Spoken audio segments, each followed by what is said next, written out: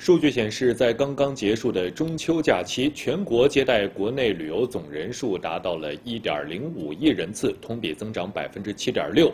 国庆假期很快就要到了，这几天广州各大旅行社迎来了国庆出游报名高峰，而广州出发的中短途高铁车票已经十分紧张。中秋假期刚过，广州各大旅行社门店迎来了大批前来咨询的市民。国庆期间，出境游线路很受欢迎。由于欧洲、美加等出境长线报名已经截止，市民纷纷把国庆出境游目的地转到了中短线路上。而家去日本呢？佢期待边个点啊？诶，都系去北海道嗰度啦。睇翻秋天嘅景色。系啊，都系我哋一般都系家庭出去多。即系诶，得家人有时间一齐。系啊，系啊，系。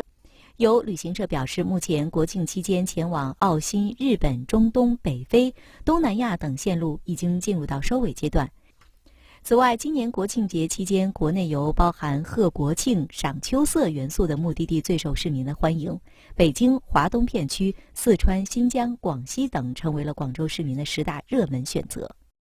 喺湖林嘅嗰条线，诶，已经系诶交咗钱噶啦。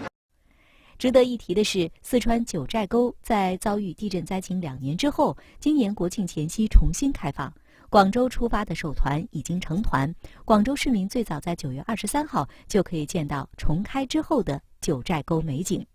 另外，由于市民在国庆假期国内游的出游时间和方向高度集中，热门目的地的车票、机票、酒店等，甚至出现了供不应求的情况。其中，根据广铁集团消息，九月三十号、十月一号，武广高铁前往长沙南、武汉方向的车票基本售罄。而记者通过幺二三零六网站查询，从九月三十号到十月三号，广州前往厦门、贵阳、桂林等多个热门旅游地的高铁车票也已经基本售罄。